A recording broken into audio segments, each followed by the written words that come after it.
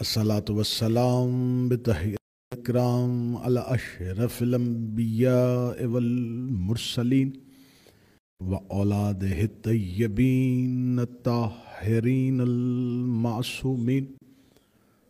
ثم الصلاة والسلام على الصديقة المباركة الرازية المرزية عالمة غير معلمة بنت القلم والنون والسر بين الكاف والنون والدليل إرادة كن فيكون وكتاب المكنون آية الله العظمى زوجة آية الله الكبرى محافظة النبوة والناشرة ولاية. أم الكتاب، أم القرآن، أم الأنوار، أم الأعمى، أم المعصومين، أم العلوم أم الهدى، أم الحسن، أم الحسين، أم المحسن، أم العباس وأم أبيها. السيدة فاطمة الزهراء لما صلى الله محمد. ولعن الله تعالى على أعدائهم أجمعين. أما بعد، فقد قال حق سبحانه تعالى في كتابه المجيد وفرقان الحميد. بسم الله الرحمن الرحيم. من يطع الرسول فقد أطاع الله بلندر صلوات صل محمد دعا ہے مالکان ذکر، دگان ذکر کا وارثان ذکر کی بارگاہ میں پیش ہونا قبول فرمائے۔ آقا زادی صف ازا کا اہتمام کرنے والے اس صف ازا پہ شرکت کرنے والے آج کی ذکر کو سماعت کرنے والوں کی توفیقات خیر میں اضافہ فرمائے۔ میرا اللہ اس مخدومہ کی عزت کا وعدہ جو جو دعائیں آپ دلوں میں لے کے آئے ہیں، شہزادی اس ذکر میں اٹھنے سے پہلے وہ مستجاب فرمائے۔ آقا زادی ہماری قبر سے لے کے ہمارے محشر تک ہماری شفا فرمائے۔ ہمارا شمار سیدہ کے طرفداروں میں فرمائے۔ سیدہ کے دشمنوں سے میرا مالک ہمیں بیزاری اختیار کروائے۔ مولا ان سے نفرت اور ان سے دوری کی توفیق عطا فرمائے۔ عزادار یہ حسین علیہ السلام پہ ہماری نسلوں کو ہمیشہ کے لیے مستحکم فرمائے۔ دعاؤں کی قبولیت کے لیے مل کے باباز بلند صلی اللہ صلی اللہ محمد۔ اجازت ہے ذکر شروع کیا جا سکے۔ آج کی خمسہ مجال کی پہلی مجلس آپ کی سماعتوں کو ہدیہ کی جا رہی ہے۔ یقیناً یہ انتہائی حساس ترین موضوع ہوگا جس کا تعین کیا گیا ہے کہ ہم تاریخی حقائق کے ساتھ سیدہ کی مظلومیت کو بیان کر سکیں۔ میں نے آپ کے سامنے اللہ کے قرآن سے سورہ مبارکہ النساء ہے۔ چوتھے پارے سے یہ شروع ہوتی ہے، چھٹے پارے تک یہ صورت جاتی ہے۔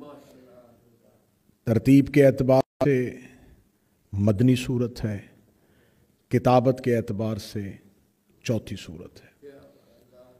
اس کی آیات کی تعداد ایک سو چھہتر ہے۔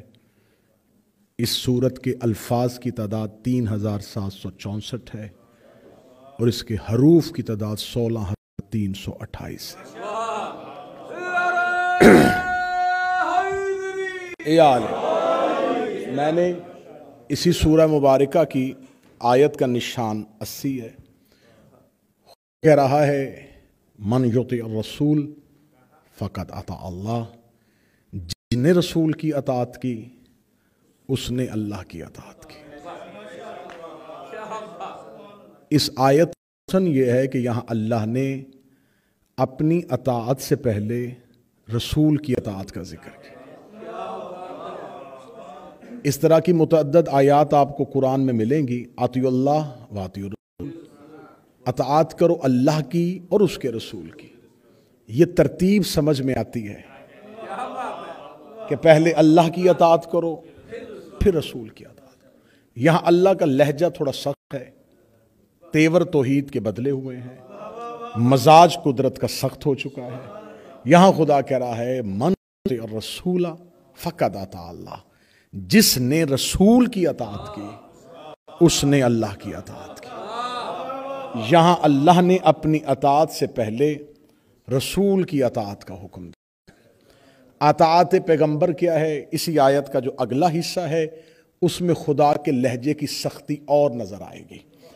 خدا کہتا ہے وہ من طول فما ارسلنا کا اگر کسی نے تیری اطاعت سے منہ پھیرا تو ہم نے اس کی نگہبانی کے لیے تجھے بھیجا ہی نہیں تھا۔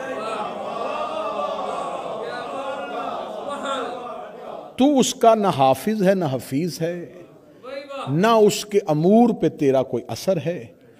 ہم نے ان کے لیے تجھے بھیجا ہی نہیں تھا، جو تیری اطاعت سے پھر جائے گا۔ مجھے سیدہ کی مظلومیت بیان کرنی ہے اور سیدہ کی مظلومیت بیان کرنے کے لیے میں نے ان خمسہ مجالس میں موضوع قرار دیا ہے کہ ہم اختلاف کی وجہ تلاش کریں۔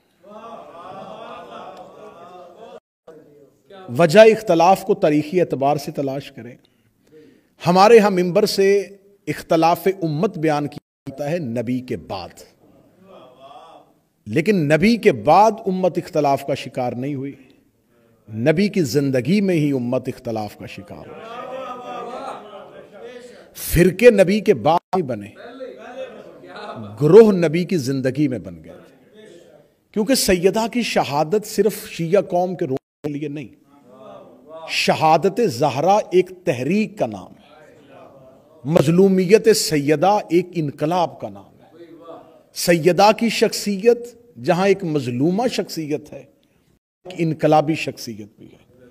سیدہ نے اس دور میں ایک ایسی تحریک کو جنم دیا ایک ایسی تحریک کو وجود میں لائے کہ جس تحریک کی بنیاد پر ہی سیدہ کی شہادت اب ہمیں صرف شہادت تک نہیں رکنا، ہمیں اس تحریک کو جاننے کی کوشش کرنی ہے۔ وہ کون سی تحریک تھی جس کی بانی زہرا تھی؟ جو تحریک جناب سیدہ نے شروع کی تھی۔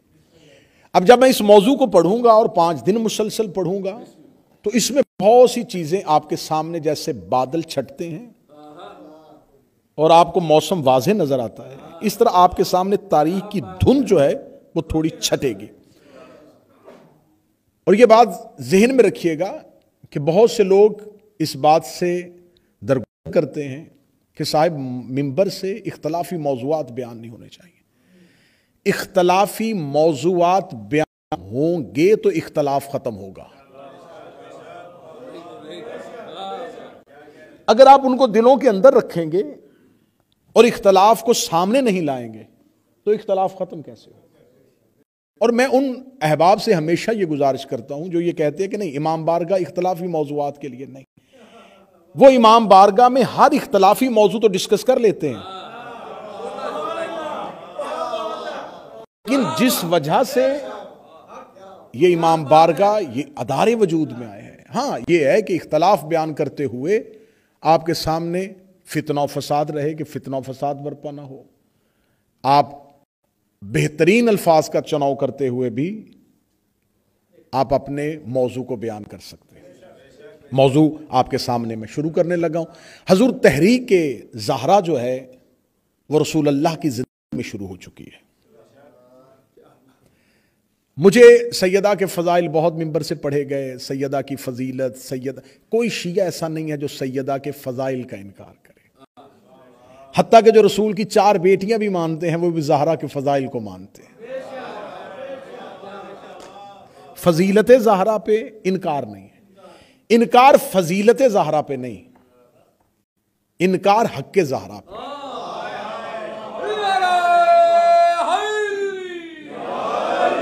اختلاف فضائل سیدہ پہ نہیں ہے۔ اختلاف تحریک سیدہ پہ۔ رسول اللہ کی زندگی میں امت دو گروہوں میں، آخری دنوں میں بالکل آخری ایام میں امت دو گروہوں کا شکار ہو چکی تھی۔ آخر رسول اللہ کی زندگی رسول موجود تھے، زندہ اور امت فرقوں میں تقسیم ہو گئی، امت دو گروہوں کا شکار ہو گئی۔ اور یہ میں پوری ذمہ داری کے ساتھ یہ لفظ، میں یہ سٹیٹمنٹ کروا رہا ہوں کہ پانچ مجلسوں میں کوئی ایک حرف بھی ایسا نہیں ہوگا جو غیر کی کتابوں سے ثابت نہ ہو سکے۔ یہ نہیں ہوگا کہ صرف شیعہ تاریخ پڑھی جائے گی، ہم غیر کی کتب سے اس حقیقت کو ثابت کریں گے۔ رسول اللہ کی زندگی میں امت حضور دو گروہوں کا شکار ہو گئی۔ یہ جھگڑا ہے رسول کی جانشینی کا کہ رسول کے بعد جانشین کون ہو۔ اختلاف کھل کے بیان کرنا چاہیے۔ بات خندہ پیشانی کے ساتھ کرنی چاہیے۔ جھگڑا ہو رہا تھا رسول کی جانشینی کا کہ رسول کے بعد جانشین کون ہوگا۔ اب یہاں پر دو گروہ ہیں، ایک کہتے ہیں کہ رسول نے اپنی جانشینی کا فیصلہ اپنی زندگی میں غدیر پہ کر دیا تھا۔ دوسرے گروہ کے پاس جو دلیل ہے، وہ دلیل میں آپ کے سامنے بیان کرتا ہوں۔ ان کے پاس یہ دلیل ہے کہ دیکھیں، رسول ایک اسلامی فلاحی ریاست تشکیل دے چکے تھے۔ تو ایک اسلامی ریاست کو چلانے کے لیے، ریاستی امور کو چلانے کے لیے ایک ایسی حکومت کی ضرورت تھی جو عوام کی رائے سے تشکیل پائے۔ لہذا رسول کی جانشینی کے لیے عوامی رائے کو مقدم رکھنا اس لیے ضروری تھا کہ یہاں ایک فلاحی ریاست تشکیل پا چکی ہے، یہاں ایک نظام کو چلانا ہے۔ نظام کو چلانے کے لیے ایسے نمائندے چاہیے جنہیں عوام منتخب کر کے بھیجے۔ ٹھیک ہے، دلیل بڑی اچھی ہے کہ ایک ریاست کو چلانے کے لیے عوام ہی سے نمائندگی چاہیے تھی۔ اگر رسول صرف سیاسی عہدے دار ہوتے تو یقیناً رسول کا جانشین بھی عوام ہی چنتی۔ اگر رسول اللہ صرف اسلامی ریاست کے ایک گورنر کی حیثیت سے ہوتے، ایک ایڈمنسٹریٹر کی حیثیت سے ہوتے، تو یقیناً رسول کا جانشین جو ہے، درو سارے حضرات مل کے بلند آواز اللہ صلی اللہ محمد. بسم اللہ۔ تو یقیناً رسول کا جانشین جو ہے وہ عوام ہی نے طے کرنا تھا۔ موتم ہی تھوڑی سی ہوگی، اچھی لگے گی آپ کو، لیکن بہت بہترین ہم سفر کریں گے روزانہ کی بنیاد۔ اب جب رسول اللہ نے ایک سیاسی نہیں ہے، رسول اللہ کی حیثیت ایک سیاسی عہدیدار کی نہیں ہے۔ آج کا جدید دور ہے، آپ جہاں جمہوریت ہے، جہاں ڈیموکریسی ہے، وہاں پر بھی اگر کوئی گورنر ہٹتا ہے، کوئی میئر ہٹتا ہے، کوئی کونسلر یا کوئی ایم پی اپنی مدت پوری کرتا ہے تو اس کے بعد اگلا کونسلر، اگلا میئر، اگلا ایم پی عوام طے کرتی ہے، کیونکہ وہ عوامی نمائندہ ہوتا ہے۔ یہ آج تک دور میں، اس جدید ترین دور میں بھی یہی چل رہا ہے کہ عوام اپنا نمائندہ خود چنیں گے لیکن اگر ایک استاد ریٹائر ہوتا ہے، تو سٹوڈنٹس الیکشن کر کے استاد نہیں بناتے۔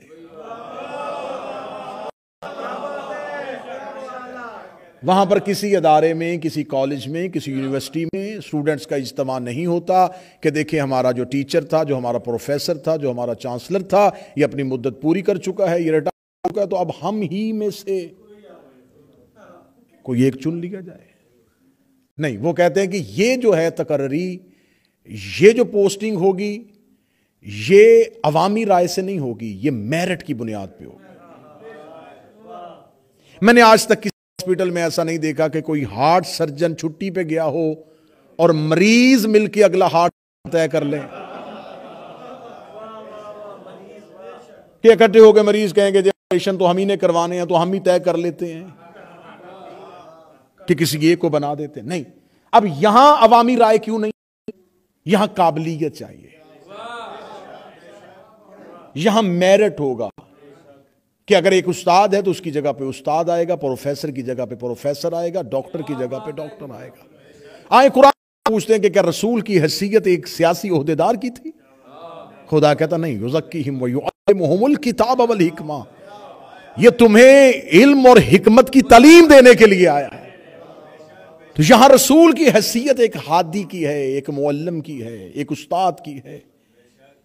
تو جب رسول ایک ہادی ہے، صرف ایک سیاسی عہدے دار نہیں تو پھر ہادی کے بعد ہادی کا فیصلہ عوام کی رائے سے نہیں، میرٹ کی بنیاد پر ہو۔ اگر یہ فیصلہ عوام نے کرنا تھا، تو اس دور میں اسلام صرف مکہ اور مدینہ تک نہیں پھیلا تھا۔ یہ میری بات دنیا تک پھیل رہی ہے، دنیا تک جا رہی ہے۔ میرا متمع نظر یہ حسینیہ کی حدود میں بیٹھے ہوئے افراد نہیں بلکہ میں مخاطب ہوں اہل سنت سے جو ان مجالس کو سنیں گے۔ کہ خندہ پہ ساتھ ہم اپنے اختلافات کو ڈسکس کریں۔ آپ سنیں ہمارے اختلافات کو۔ ہمارا اور آپ کا جھگڑا کس بنیاد پر ہے؟ اگر یہ عوام نے چننا تھا، تو اسلام صرف مکہ اور مدینہ تک نہیں تھا۔ اسلام شام تک چلا گیا تھا۔ اسلام یمن تک پھیل گیا تھا۔ تو یمن اور شام تک پھیلی ہوئی اسلامی ریاست کا فیصلہ ایک شہر کے لوگوں نے کیوں کیا؟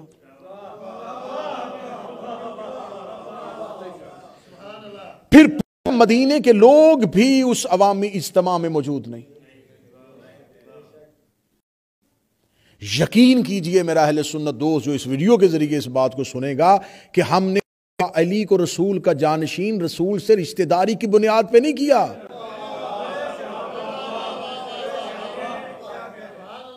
یہاں امیر المومنین کی جو تقرری ہوئی ہے، جو مولا امیر المومنین کو رسول کا جانشین اور وسیع چنا گیا ہے، یہ رسول کا رشتہ دار ہونے کی وجہ سے نہیں۔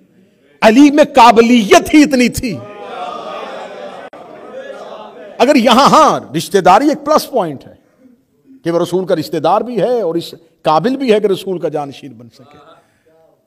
اگر رسول اللہ کے بعد ان کا جانشین جو ہے وہ صرف خاندان ہی سے چننا کافی ہوتا اور یہی میرٹ ہوتا رسول کے خاندان سے چنو، تو خاندان بنی ہاشم نے جھگڑا کیوں نہیں کیا؟ بنی ہاشم کے افراد سب سے پہلے رسول کے بعد اجتماع کرتے کہ ہم رسول کے رشتہ دار ہیں، بلکہ رسول کے خاندان کے وہ بزرگ افراد موجود تھے جو مولا علی سے بھی بزرگ تھے۔ وہ رسول اللہ کے بعد جان کے فیصلے کے لیے کیوں نہیں آئے۔ تو اس کا مطلب ہے کہ رسول اللہ کے بعد رسول کا جانشین اگر رسول کے نصب سے نہیں ہو سکتا، رسول کے دادا کی اولاد سے نہیں ہو سکتا، رسول کے خون سے نہیں ہو سکتا، تو جب رسول کا رشتہ دار رسول کے خونی رشتہ داروں میں نہیں ہو سکتا، تو رسول کے سسرالی رشتہ داروں میں بھی نہیں ہو سکتا۔ زوجیت کے رشتہ داروں کی بنیاد پہ۔ اگر وہاں پر خلیفہ چنا گیا ہے، جانشین چنا گیا ہے، رشتہ داری کی بنیاد پر۔ اگر میرڈ رشتہ داری تھا تو پہلے خون کے رشتہ دار چاہیے تھے۔ یہ اجتماع صرف بنی ہاشم کے افراد کے بغیر کیسے ہو گیا؟ پھر قیامت تک کے لیے اس اسلامی ریاست کو چلنا ہے، فیصلہ اتنی جلد بازی میں کیوں کیا گیا؟ میں تحریک فاطمہ پڑھنے لگا ہوں۔ میں تحریک سیدہ کا آغاز پڑھنے لگا ہوں۔ میں سیدہ کے انقلاب پڑھنے لگا ہوں۔ اتنی اجرت میں، اتنی جلد بازی میں آخر یہ کیوں فیصلہ کیا گیا کہ رسول اللہ کے بعد رسول کے جانشین کا فیصلہ اتنی جلدی میں ہوا؟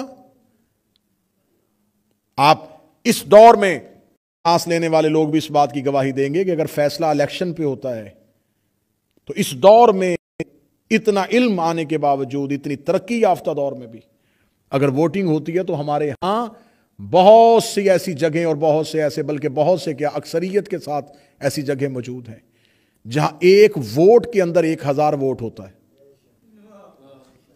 اب شاید بات نہیں سمجھ سکے۔ کسی خاندان کا ایک فرد ایسا ہے جو پورے خاندان کے ووٹ کا فیصلہ کرتا ہے۔ اگر کوئی اس کا نمبردار، اگر کوئی خاندان ہے تو اس قبیلے کا سربراہ۔ تو آج کے اس ترقی یافتہ دور میں ایک انسان اپنے اندر کئی ووٹ لے کے بیٹھا ہے۔ اور پھر اس دور میں جہاں قبائلی تعصب بھی عروج پہ ہو، جہاں فیصلے ہی قبیلے کے سردار کرتے ہوں، جہاں فیصلے ہی قبائل کے عمائدین کرتے ہوں روسا کرتے ہوں، عمرہ کرتے ہوں، تو اس دور میں اس کا مطلب ہے کہ عوام سے رائے نہیں لی گئی، سرداروں سے رائے لی گئی۔ وہاں پر اوس خزرج موجود ہیں، وہاں پر مہاجرین انصار کو دیکھا گیا، یہاں پر قبائلی سرداروں کا اجتماع ہوا۔ تو عام عوام سے تو پوچھا ہی نہیں گیا۔ اس کا مطلب ہے یہ تصور باطل ہو گیا کہ رسول کے جانشین کا فیصلہ اگر عوام کے امنگوں پہ ہونا تھا، عوام کی ترجمانی پہ ہونا تھا، تو عوامی ترجمانی تو پھر بھی حاصل نہیں ہو سکی۔ کیونکہ یہ فیصلہ تو چند سرداروں نے کیا تھا۔ آخر کیوں اتنی جلدی تھی رسول کے بعد رسول کی؟ اس کا مطلب ہے کہ رسول کا جو میں نے پہلا لفظ کہا تھا کہ رسول کے بعد جو انقلاب آیا، وہ رسول کی زندگی میں جنم لے چکا تھا۔ آئیے، اب موضوع شروع ہو چکا۔ رسول کی زندگی کے آخری ایام ہے رسول کی زندگی کے آخری ایام میں رسول اللہ نے ایک لشکر ترتیب دیا، جسے لشکر اسامہ کہا جاتا ہے۔ یہ اسامہ کون ہے؟ یہ زید کا بیٹا ہے۔ زید کون ہے؟ وہ حارثہ کا بیٹا ہے۔ یہ سترہ سال کا ایک نوجوان ہے، ینگ۔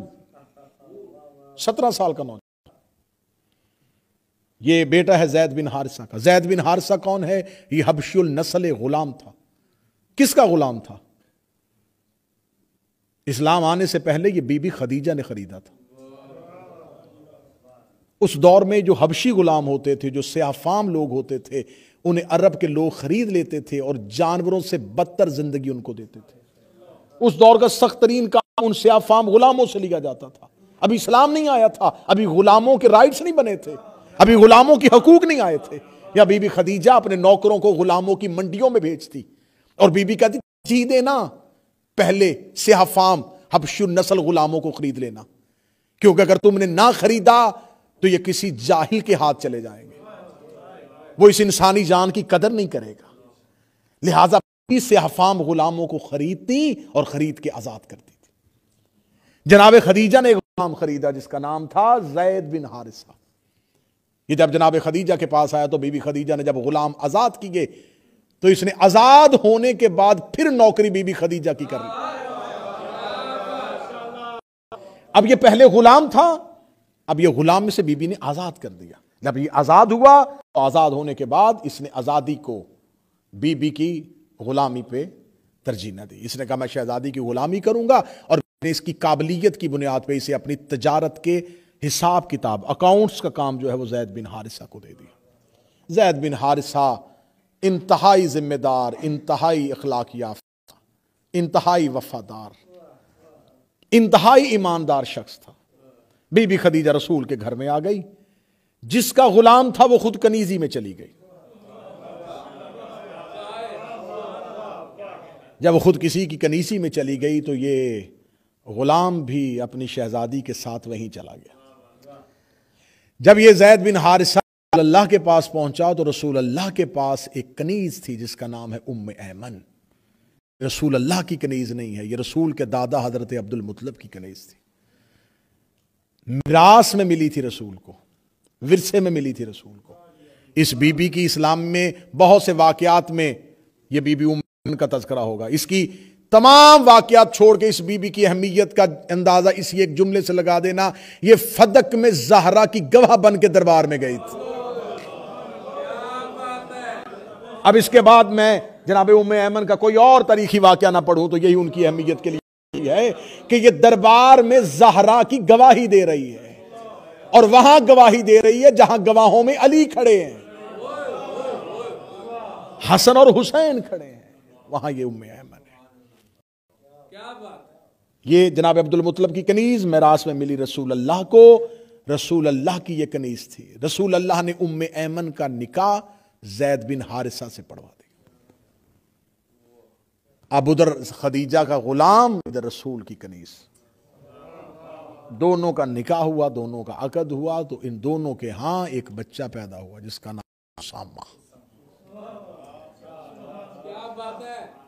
یہ اسامہ سترہ سال کا ہے اور رسول اللہ نے اپنی زندگی کے آخری دنوں میں ایک لشکر ترتیب دیا، اس لشکر کے اندر بنی ہاشم کا کوئی فرد نہیں رکھا، امیر المومنین کو بھی نہیں رکھا۔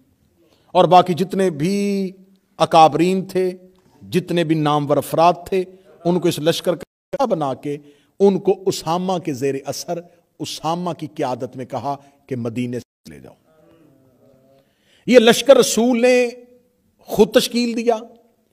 اب اس پورے تاریخی حقائق کے لیے اہل سنت کی کتب جو سب سے پہلی سیرت کی کتاب ہے، سیرت ابن اسحاق سے شروع ہو پھر ابن حشام تک آئیں، پھر اب تبری کو پڑھیں، پھر اب زہبی کو پڑھیں، پھر چلتے چلتے چلتے چلتے وہ آج کے دور تک آ جائیں تو کوئی بھی مورخ جو ہے وہ اس واقعے کا انکار نہیں کر سکا۔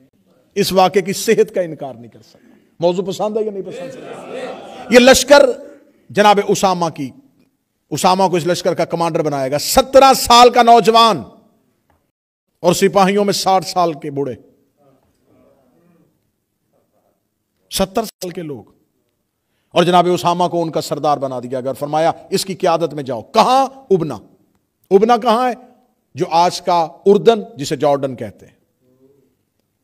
روم کی سرحد۔ وہاں بھیجا۔ اس کا مدینے سے فاصلہ کتنا ہے؟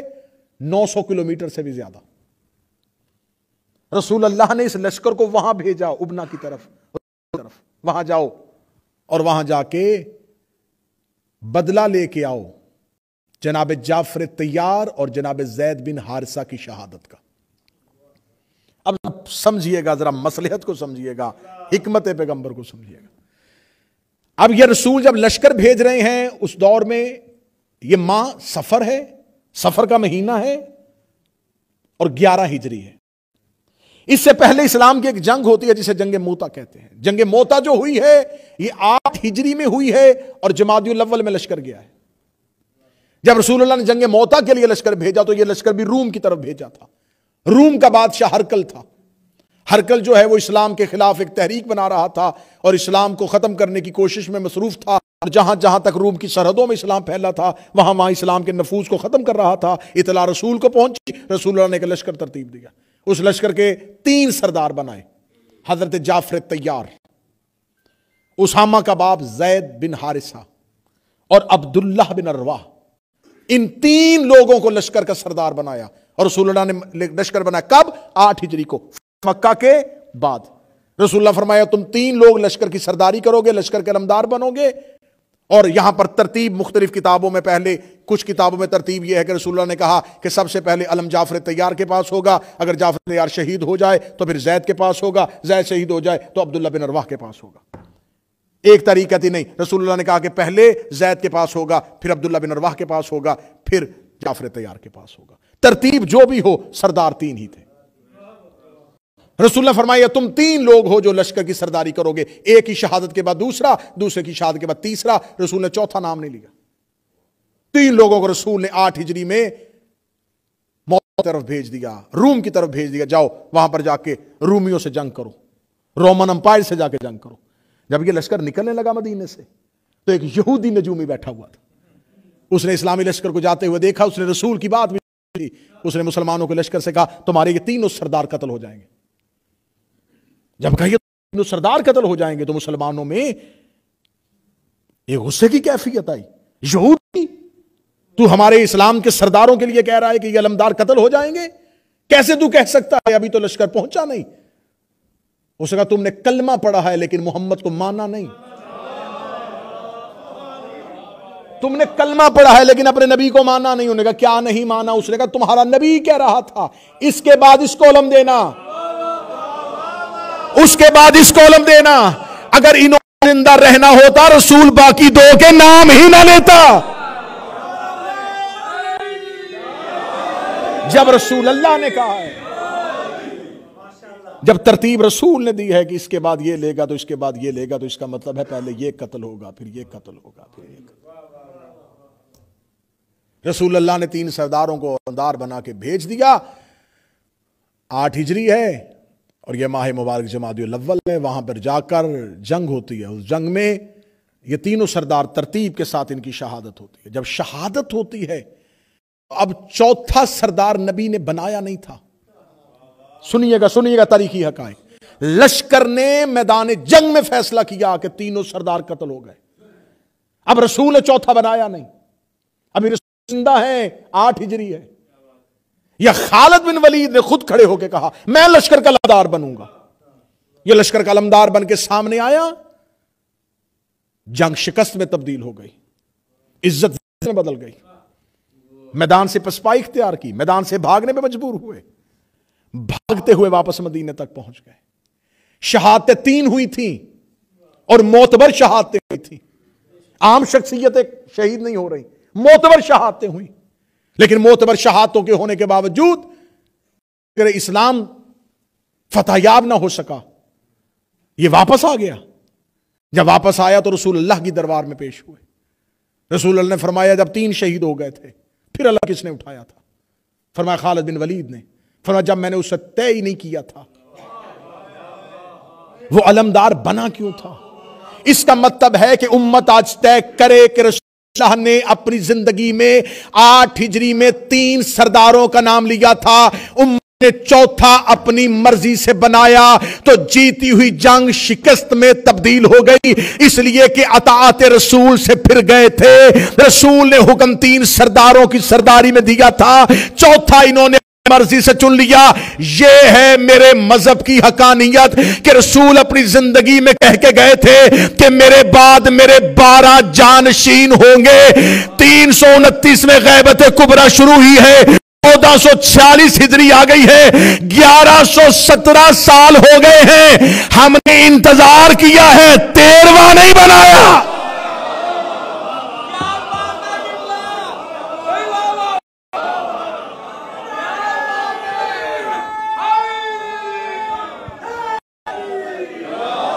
یہ ہے مذہب۔ یہ ہے اطاعت رسول پہ ہے مذہب۔ یہ ہے اطاعت رسول کی پالیسی۔ وہاں رسول نے کہا تھا تین سردار ہوں گے، چوتھا امت نے مرضی سے بنایا۔ جنگ شکست میں تبدیل ہو گئی۔ رسول نے کہا تھا میرے بعد بارہ جانشین ہوں گے۔ غیبت کبرا سے لے کے آج تک ہم ظلم کا شکار ہو رہے ہیں۔ لیکن ہم نے انتظار کرنا ہے۔ رسول کا جانشین خود نہیں بنانا، کیونکہ رسول نے بارہ کہا تھا۔ ہم بار رکے ہیں، یہ ہے اطاعت رسول۔ اب رسول اللہ نے جب یہ لشکر بھیجا، یہ لشکر واپس آ گیا۔ اب یہ کب ہوا تھا؟ آٹھ ہجری کو۔ اور رسول کو کب بھیج رہے ہیں؟ گیارہ ہجری کو۔ گیارہ ہجری کو کس لیے بھیج رہے جاؤ جا کے جعفر تیار زید بن حارث عبداللہ، ارواح کی شہادت بدلا لو۔ رسول اللہ نے اہل سنت کی معتبر کتب سے میں حقائق ثابت کرنے کے لیے تیار ہوں۔ رسول اللہ نے کسی جنگ میں جانے کے لیے لشکر پہ اتنی سختی نہیں کی۔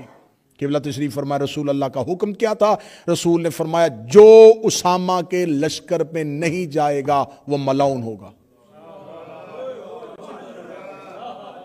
لفظ ملاؤن رسول نے استعمال کیا جس نے اسلامی احکامات میں کسی حکم میں اتنی سختی نہیں کی تھی۔ اس نے کہا، جو اما کے لشکر میں نہیں جائے گا، وہ ملاؤن رسول اللہ کی بیماری کے ایام پر رسول بار بار بستر سے اٹھ کے پوچھ رہے ہیں اس اسامہ کا لشکر گیا کہ نہیں گیا؟ اس اسامہ کا لشکر کو نکالو مدینے سے، جلدی کرو نکالو۔ ہمیں آج پہلی مجلس میں یہاں رکنا ہے۔ آخر رسول اسامہ کا لشکر بھیج کیوں رہے تھے؟ آئیں اختلاف ختم کریں۔ آپ نے لکھا ہے کہ رسول نے اسامہ کو بھیجا ہے۔ لشکر اسامہ کو بھیجنے کی وجہ کیا ہے؟ اہل علم تشریف فرما ہے، اسلام کی کوئی جنگ بغیر وجہ کے نہیں ہے۔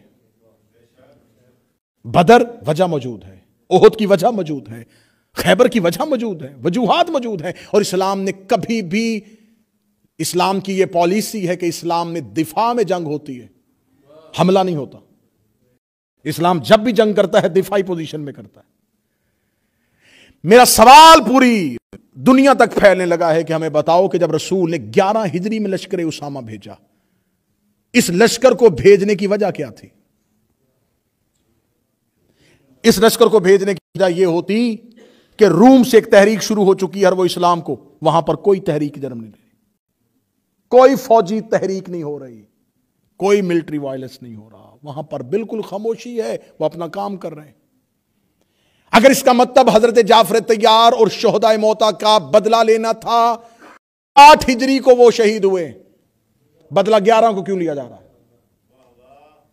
جبکہ اس سے پہلے رسول جب جنگ تبوک پہ گئے تھے، تو یہ روم کے قریب تھا۔ جب غزوہ تبوک پہ گئے تھے تو بدلہ لے کے آتے۔ بالکل قریب جا کے بدلہ نہیں لیا۔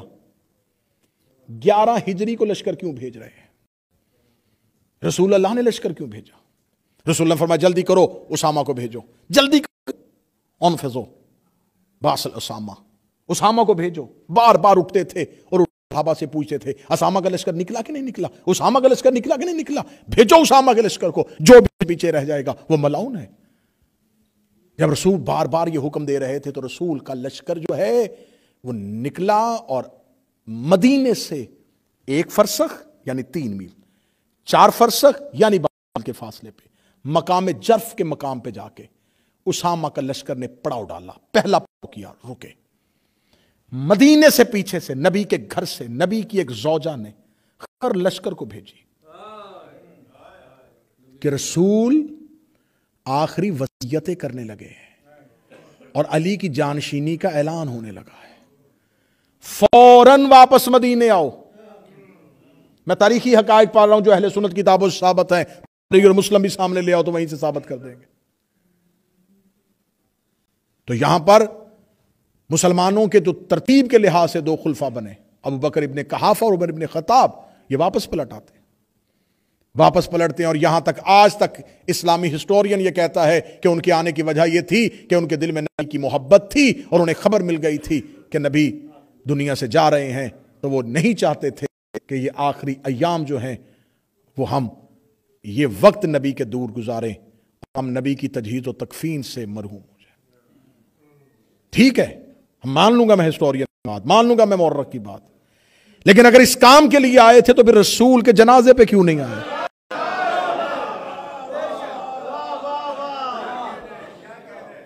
جب کام کے لیے۔ اور اس کام سے واپس آیا جا رہا ہے جس کا حکم رسول دے رہے پہلی وجہ میں وجہات بھی بیان کروں گا، میں یہ نہیں کروں گا، میں صرف اپنا ماخذ بیان کہ میرے نزدیک، ہمارے نزدیک یہ ٹھیک ہے۔ ہم کتب غیر سے بھی استدلال لیں گے کہ وہ اس کے مقابلے میں دفاعی پوزیشن کیا اختیار کرتے ہیں۔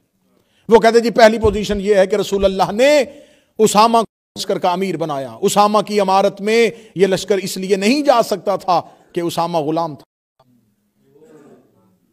تو اس لیے وہ کترا رہے تھے کہ کسی غلام اور وہ غلام کا بیٹا تھا۔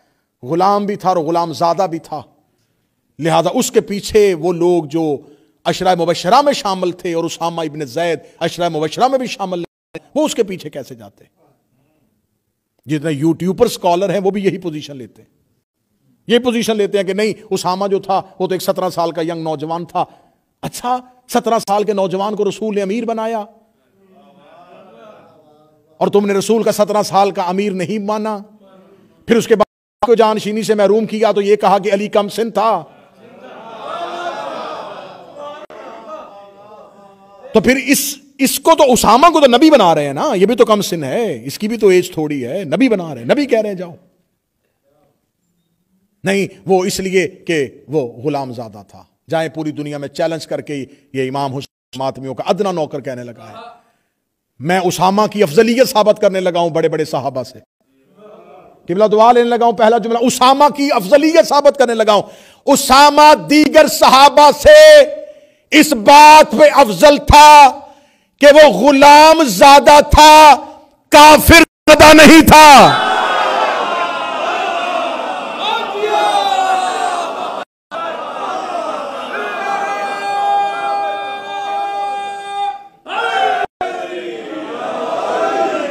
غلام کا بیٹا تھا، کسی کافر کا بیٹا نہیں تھا۔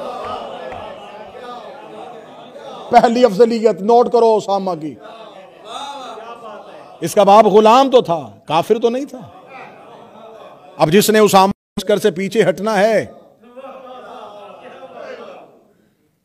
اسامہ کی دوسری فضیلت، شہید کا بیٹا ہے۔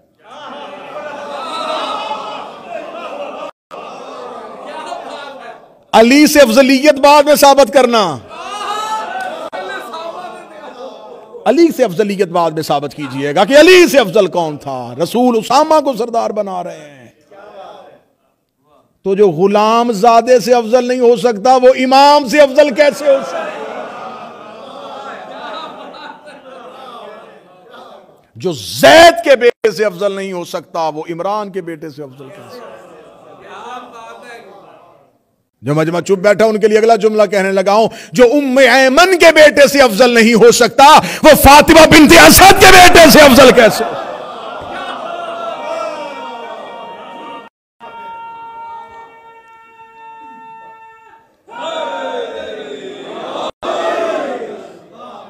تمہاری کتابوں میں لکھا ہے کہ زید غلام تھا اور انہی کتابوں میں لکھا ہے کہ عمران سردار تھا۔ ابو طالب تو سردار تھا کیوں نہیں اس کی عمارت کو قبول کیا گیا؟ کیوں نہیں اس کی امیری کو قبول کیا گیا؟ کیوں نہیں اس کی سربراہی کو قبول کیا گیا؟ رسول اللہ کہہ رہے ہیں کہ جاؤ اس لشکر میں اور واپس پلٹ آئے۔ واپس آ کے کہا نہیں، یا رسول اللہ، ہم آپ کو اس حالت میں نہیں چھوڑ سکتے۔ رسول نے ناراضگی کا اظہار کیا۔ بخاری اٹھاؤ، مسلم اٹھاؤ۔ طبقات ابن سعد کو اٹھاؤ اسد الغابہ کو اٹھاؤ۔ پڑھو ان کتابوں کو۔ رسول نے ناراضگی کا اظہار کیا۔ میں نے تمہیں کہا تھا کہ لشکر اسامہ میں جاؤ۔ کیوں واپس پلٹے ہو؟ جاؤ لشکر اسامہ میں۔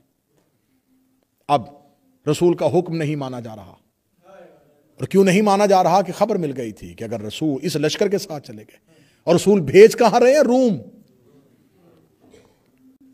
بغیر بغیر وجہ کے جنگ۔ یعنی کہ اس، یہ واحد اسلام کی جنگ ہے جس کی ریزن آج تک میں اور رکو نہیں ملتی کیوں بھیج رہے تھے؟ کس وجہ سے بھیج رہے تھے؟ بھیج بھی قریبی علاقے میں نہیں۔ روم بھیج رہے ہیں۔ کس مہینے میں بھیج رہے ہیں کہ اگر آپ دیکھیں کہ سفر کا مہینہ گیارہ ہجری میں، تو اس کو اگر آپ انگلش کیلنڈر کے اعتبار سے دیکھیں تو وہ جولائی یا اگست ہے۔ اور وہ عرب کی گرمی ہے۔ عرب کی گرمی میں مہینوں کے سفر کے لیے بھیج رہے ہیں۔ رسول سمجھتے تھے کہ میں مدینے کو ان افراد سے خالی کروں جو علی کے خلافت کے رستے میں دیوار بنے۔ جب یہ لشکر واپس پلٹ علی کی خلافت قائم ہو چکی ہو۔ قبیل علی کی بیعت کر چکے ہو عام حکومت علی کے ہاتھ میں آ چکا ہو رسول کو جلدی ہے کہ لشکر جائے۔ کہا جا رہا ہے کہ ہم اس لشکر میں نہیں جائیں گے اور واپس پلٹ کے آ کے رسول اللہ کے گھر میں، رسول اللہ کے دروازے میں بیٹھا جاتا ہے۔ جب رسول اللہ کے دروازے پہ آ کے بیٹھ جاتا ہے اور رسول اللہ کے حکم کی عدولی کی جاتی ہے، رسول کے حکم کی مخالفت کی جاتی ہے، تو یہ نافرمانی یا یہ اطاعت پہ کاربند نہ رہنا اسے مسلمان، مورخین اور سکولرز کس کھاتے میں ڈالیں گے؟ جبکہ قرآن کہہ رہا ہے، جس نے رسول کی اطاعت کی۔ اس نے اللہ کیا رسول اللہ کہہ رہے ہیں کہ جائیں اور وہ کہہ رہے ہیں کہ نہیں، ہم جا سکتے۔ کیونکہ آپ کی بہتر نہیں ہے۔ یا رسول اللہ، ہم آپ کو اس حالت میں نہیں چھوڑ کے جائیں گے۔ دروازے پہ بیٹھ کے رویا جا رہا ہے۔ اسامہ بھی واپس پلٹتا ہے۔ رسول کے اسامہ سے پوچھے تم کیوں آئے ہو؟ یا رسول اللہ، لشکر وہاں سے ہل نہیں رہا۔ یہ افراد واپس آ چکے ہیں۔ فرمائی ان کو لے کے جاؤ، جلدی کرو، ان کو مدینے سے نکالو۔ پھر رسول سختی میں کہتے ہیں، پھر مدینے سے نکالا جاتا ہے، دوسری دفعہ یہ پہنچتے ہیں، پھر پیچھے سے اطلاع آتی ہے، پھر یہ آتے ہیں۔ آخری رات جب یہ واپس پلٹتے ہیں تو رسول اللہ کی ایک حدیث جو نے بھی لکھی، ابن اسیر نے بھی لکھی اور تبری نے بھی لکھی کہ جب یہ واپس پلٹتے ہیں تو رسول، یہ رات کی میں مدینے کے اندر لوگ آتے ہیں اور رسول اپنے حجرے میں سے بستر سے سر اٹھا کے کہتے ہیں کہ شیطان کے سینگ مدینے میں داخل ہو ایک فتنہ عظیم مدینے میں داخل ہو چکا ہے۔ ایک بہت بڑا فتنہ مدینے میں داخل ہو گیا ہے۔ کس چیز کی جلدی تھی؟ کہ رسول کے حکم کی اطاعت نہیں کی جا رہی تھی؟ جتنی بھی وجوہات لکھو گے، جتنی وجوہات بیان کرو گے، یہ وجہ بھی ہو سکتی ہے، یہ وجہ بھی ہو سکتی ہے۔ عشق تھا، محبت تھا۔ اچھا محبت تھی، عشق تھا، اس لیے نہیں جا رہے تھے۔ کہ ہم رسول کے آخری دنوں میں اس خدمت سے محروم نہ ہو جائیں۔ تو پھر جب رسول کی شہادت ہو جاتی ہے، تو پھر چاہیے تو یہ تھا کہ جس غرض سے رکے تھے، وہ کام کرتے۔ وہ کام نہیں ہوا۔ نہ رسول کی تکفین پہ، نہ رسول کی تدفین پہ، بلکہ سکیفہ بنی سادہ میں اپنی امت کو تشکیل دیا گیا، اپنی بیعت کروائی گئی۔ اس کا مطلب ہے کہ یہاں اسلامی مورخین کو آج کی تقریر کا آخری جملہ کہنے لگا ہوں کہ اس نقطے پہ آنا پڑے گا کہ اگر یہ رسول کی محبت میں آئے تھے تو میں اپنے مقدمے سے ایک قدم پیچھے ہٹتا ہوں۔ اگر یہ رسول کی محبت میں آئے تھے تو تم رسول کے جنازے پہ دکھاؤ۔ اگر یہ رسول کے جنازے پہ نہیں ہے تو پھر ماننا پڑے گا۔ جس کام کے لیے یہ مدینے آ رہے تھے، اسی کام کی وجہ سے رسول مدینے سے نکال رہے تھے۔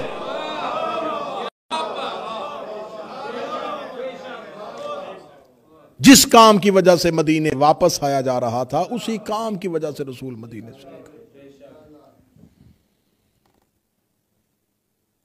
اسے تاریخ میں وہ جمعرات ہے جو رسول کی زندگی کی تڑپتے ہوئے گزری ہے۔ حضرت فضل بن عباس ابن عبد المطلب کہتے ہیں کہ کاش میں اس جمعرات کو نہ دیکھتا۔ کاش میں وہ جمعرات نہ دیکھتا۔ جمعرات، پھر اس کے بعد جمعہ، ہفتہ، اتوار اور سوموار کو رسول کی شہادت ہوتی۔ رسول، کل ہم اس موضوع کو لے کے آگے بڑھیں گے کہ رسول کے حجرہ میں ہنگامہ کیا ہوا تھا۔ پھر ہم تیسری مجلس میں پہنچیں گے کہ سکیفہ میں حکومت تشکیل کیسے پائی تھی۔ پھر اس تحریک کو جناب سیدہ نے اپنے ہاتھ میں کیسے لیا؟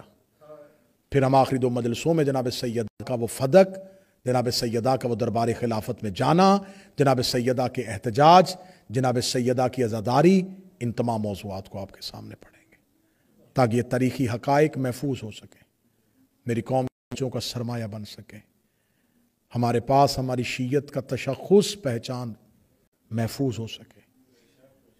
جناب سیدہ کی تحریک میں کون سے رات چھپے تھے؟ تڑپتے ہوئے رات گزاری رسول۔ حجرے کے اندر کون ہے؟ بستر پہ رسول ہے۔ اور رسول کے گھر کے اندر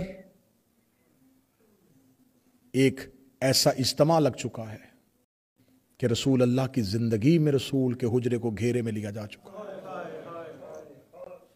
باہر سے کسی فرد کو اندر آنے کی اجازت نہیں ہے۔ اندر سے کسی فرد کو باہر جانے کی اجازت نہیں ہے۔ رسول حجرے میں شدت سے تڑپ رہے ہیں اور سہن میں مشورے ہو رہے ہیں۔ اور اس حجرے کے اندر کون تھا؟ اس کی دہلیز پہ ایک علی تھے جو بار بار حجرے میں رسول کی حالت کو دیکھ رہے تھے۔ ایک بیٹی تھی۔ جو تڑپتے ہوئے باپ کے سینے پہ بار بار اپنا سر رکھ رہی تھی۔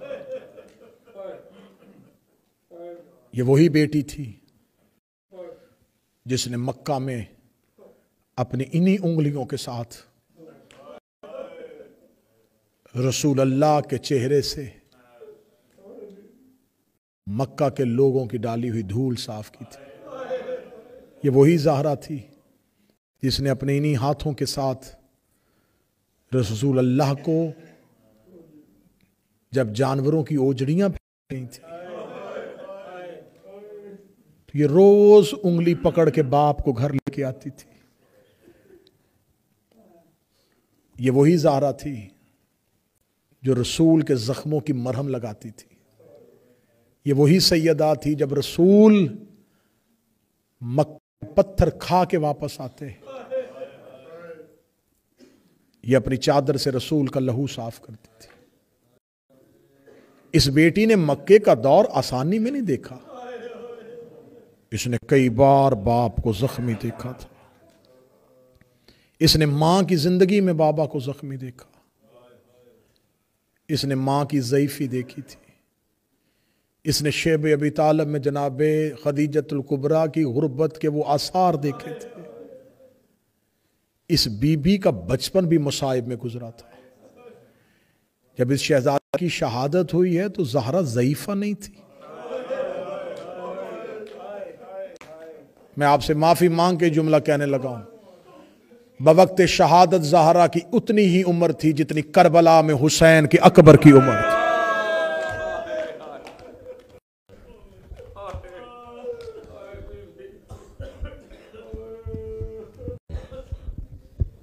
سر کے بال سفید ہو چکے تھے۔ یہ وہی زہرا ہے کہ جب بی بی خدیجت القبرہ کہ آخری ایام آئے، دس رمضان المبارک ہے۔ رسول آخری بار جناب خدیجہ سے ملنے کے لیے آئے حجرے میں۔ وہ جو پہ بیٹھا کرتی تھی آ، وہ پیوند لگی ہوئی چادر کے ساتھ خاک ہوتی تھی۔ ملیکت العرب ضعیفہ ہو چکی تھی۔ مال اسلام کی راہ میں بانٹ چکی تھی۔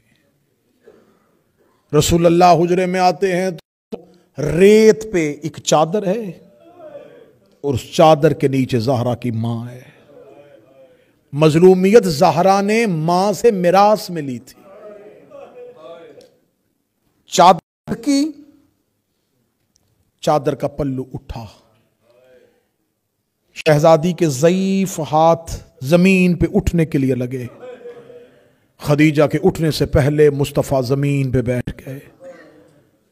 فرمایا، زہرا کی ماں، ساری زندگی تو نے اٹھ کے میرا استقبال کیا اب آپ ضعیف ہو چکی ہیں۔ اب میں نہیں چاہتا کہ آپ کو اٹھنے کی زحمت ہو۔ جب رسول زمین پہ بیٹھ گئے ہاتھ جو زمین پہ استقبال کے لیے ٹیکے تھے، وہی ہاتھ چوڑ کے رو کے کہتی ہے زہرہ کا بابا مجھے بتا، کنیز کی نوکری پہ راضی ہے؟ کیا میں نے حقیقی ادا کیا ہے؟ اتنا جملہ کہنا تھا رسول اللہ کی آواز آئی، خدیجہ تیرے بڑے احسان ہیں، اسلام تیرا مقروس ہے تو ہی تیری ممنون ہے۔ میں مصطفیٰ تیرا شکریہ ادا کرتا ہوں۔ تو نے اسلام دے بڑا احسان کیا، تو نے اسلام کو پاؤں پہ کھڑا کر دیا۔ رسول فضائل پڑھتے گئے، زہرا کی ماں روتی گئی۔ رسول فضیلتے پڑھتے رہے، سیدہ کی ماں روتی رہی۔ روتے روتے دیکھ کے کہنے گی یا رسول اللہ، نہ مجھے میرے احسان یاد کروائیں۔ یہ میں نے نوکری کا حق ادا کیا ہے۔ یا رسول اللہ، میری زندگی کی آخری رات ہے۔ اگر میں کچھ مانگ دیں گے؟ اتنا کہنا تھا یہ رسول اللہ کی آواز آئی زہرا کی ماں، اب بھی اگر تجھے کچھ مانگنے سے چاہیے تو مجھے بتا، ورنہ کون سا کرم ہے جو اللہ نے تجھ پہ نہیں کیا؟ اللہ نے امامت تیری نسل میں رکھ دی ہے، اللہ نے جنت کے سرداری تیری نسل میں رکھ دی ہے، اللہ نے تیرے گھر کو کائنات کا معزز ترین گھر بنا دیا ہے، اور کون سا شرف ہے جو پروردگار سے چاہیے؟ بی بی دے کے اپنی پیش زمین پہ رکھی، رکھ کے کہتی سجدہ شکر ہے۔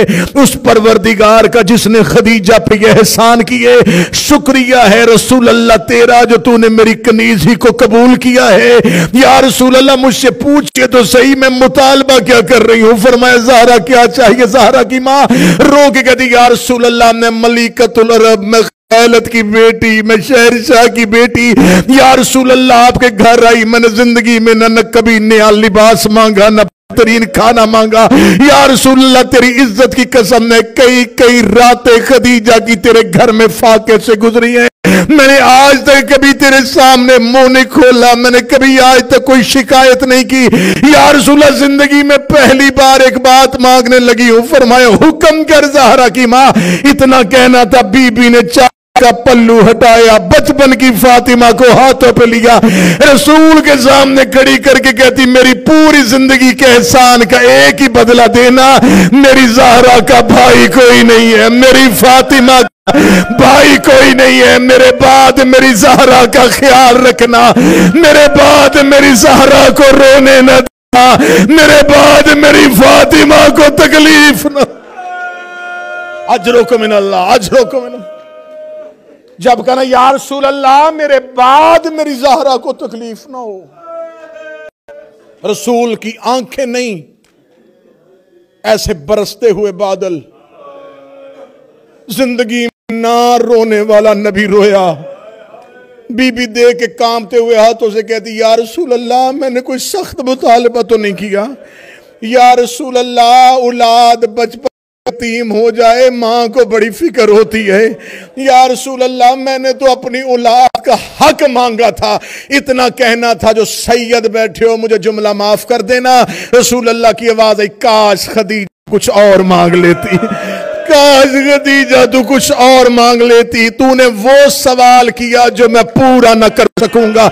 اتنا کہنا تھا، وہ جو بیماری میں اٹھ کے نہیں کھڑی ہو سکتی تھی۔ وہ بی بی خدیجہ اٹھ کے میری کمر پہ ہاتھ رکھا رکھ کے لگی، آپ کا کیا مطلب ہے؟ میری زہرا روئے گی؟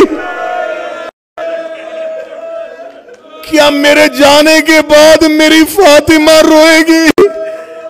جب کہنا کیا میرے جانے کے بعد میری زہرا روئے گی؟ جو جملوں پہ مسائے پہ روتے ہو۔ رو کے کہتے ہیں، کاش کوئی رونے دیتا۔ خدیجہ، تیرے احسانوں کا بدلہ امت نے تیری بیٹی سے لینا ہے۔ اتنا کہنا تھا بی بی خدیجہ تڑپی۔ تڑپ کے کہتی، یا رسول اللہ، مجھے بتا سکتے ہیں قیامت کے حالات بتانے والا رسول؟ مجھے بتا میرے بعد میری بیٹی کے ساتھ کیا حالات رسول اللہ کی آواز ہے خدیجہ موت سے پہلے مر جائے گی۔ فرمایا، اگر اسی طرح میں چلی گئی قبر میں تڑپتی رہوں گی۔ یا رسول اللہ، میں نے زندگی میں اتنے مصائب برداشت کیے ہیں، مجھے اتنا بتا میرے بعد میری بیٹی کے ساتھ کیا ہوگا؟ رسول کی آواز ہے خدیجہ، میری دو انگلیوں کے درمیان دیکھ بی بی خدیجہ نے اپنا ضعیف ہاتھ پہ شانی پہ رکھا۔ جو ماتم کرنے کے لیے آئے ہو، خدیجہ دیکھ کے کہنے لگی یا رسول اللہ، یہ تو کوئی عورت ہے جو مردوں کے مجمع میں اکیلی کھڑی ہے۔ یا رسول اللہ، کوئی مستور ہے، لوگ کرسیوں میں بیٹھے ہوئے ہیں۔ وہ اکیلی برکہ پہن کے کبھی دائیں دیکھ رہی ہے، کبھی بائیں دیکھ رہی ہے۔ یا رسول اللہ، اس کے سامنے دو چھوٹے چھوٹے بچے کھڑے ہیں۔ رسول رو کے کہتے خدیجہ، یہ تیری فاطمہ ہے۔ جبکہ خدیجہ، یہ تیری فاطمہ ہے۔ ریت گر گئی زہرا کی ماں۔ رو کے کہتی، اگر یہ فاطمہ ہے، یہ مجمع کن کا ہے؟ آواز آئی، یہ میرے صحابیوں کا مجمع ہے۔ زہرا کو سینے سے لگایا۔ روگ لگی، فاطمہ، میرے بعد کسی سے کچھ نہ مانگ۔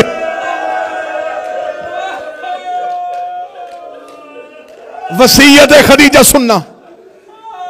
زہرا زہرا تو خدیجہ کی بیٹی ہے۔ میرا لال میرے بعد کسی سے کچھ نہ مانگنا۔ موت سے بڑھ کے تکلیف ہوئی بی بی خدیجہ کو۔